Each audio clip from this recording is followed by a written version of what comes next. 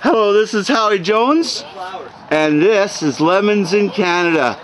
And look at all these lemons. I'm at Steve Fisher's place, and he, this grows out here all year round. And uh, this is lemons in Canada. Look at this. Oh my God.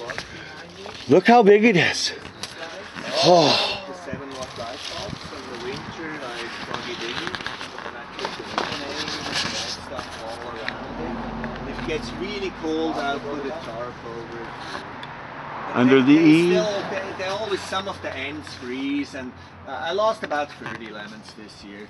They all fell down. They all started, mm, just, they froze. you know, They froze, started, eh? started freezing and then... Do you think I could have one? What? Do you think I could eat one? Yeah, but they're not really ready. I can find one that is. Oh, he's a, he's a Yeah, hound, see he'll if find you it. find one that seems good for you. That, oh, I'll have. Yeah, they just, uh, I think we ate like basically all the ones that This were one. ready.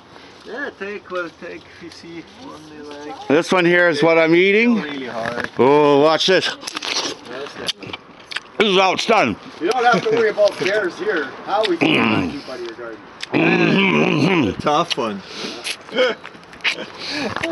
yeah, my lemons are good. Lemons in Canada, Saanich, So they're Meyer, Meyer lemons. Meyer lemon.